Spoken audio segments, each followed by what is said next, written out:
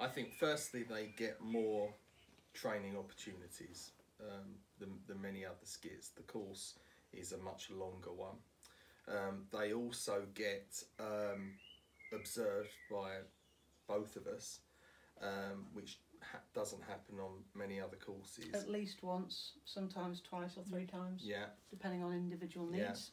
Yeah. and and I think that means we get to know the students better, so we have a closer personal relationship with with all of our students because we see them on more days, we observe them more often, and so in addition to just being maths and English tutors, we off we also off, offer a, per, a pastoral role really, um, taking them on their journey to become a teacher.